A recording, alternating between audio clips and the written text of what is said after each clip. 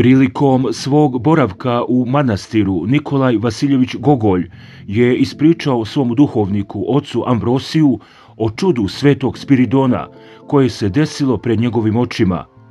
Desilo se to za vreme njegovog poklonjenja moštima svetog ugodnika Božijeg, svetog Spiridona, čije se mošti nalaze na krfu.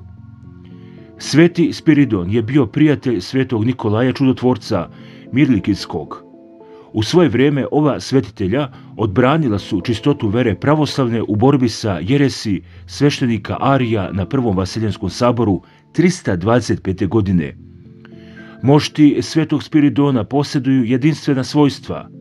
Ne samo da su netruležna tokom vekova, već su očuvali gipkost i mekoću svojstvenu običnom živom ljudskom telu. Tog dana kada je Gogolj došao na poklonjenje svetitelju koji se slavi 25. decembra po novom kalendaru sa velikom tože svesnošću, mošti su se obnosile oko grada. Među njima se nalazio neki engleski putnik, odrastao na skepsi i racionalizmu protestantske kulture. On je dozvolio sebi da primeti da su sigurno na leđima ugodnika napravljeni prorezi i telo pažljivo balsmovano. Zatim se sasvim približio moštima. Kakvo je bilo njegovo izbezumljenje koje se graniči sa užasom, kada su se mošti svetitelja, to jest svetitelj pred očima svih, lagano pridigao iz kivota i okrenuo svoja leđa upravo tom idejnom nasljedniku apostola Tome, nazvanog neverujući. Hajde prijatelju, potraži svoje proreze. Kakva je dalja sudbina tog poštovanog Britanca, nažalost, nije poznato. Gogolja je to čudo pak potreslo do dna duše. Kivot sa moštima svetitelja sav je okićen darovima onih kojima je svetitelj pomagao.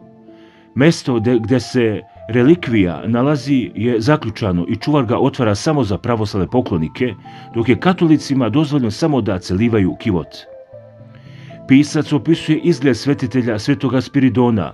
Gospode, za mene je to bio najveći potres u životu.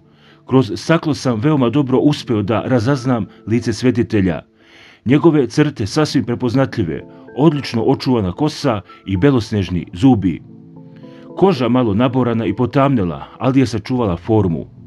Zaista, čuvari moštiju kažu da je sveti Spiridon potamneo odnedavno.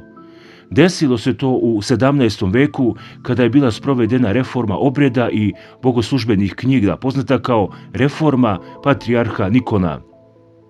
Očigledno da ona svetitelju nije bila po volji. Telo svetog Spiridona ima stalnu temperaturu 36,6 stepeni.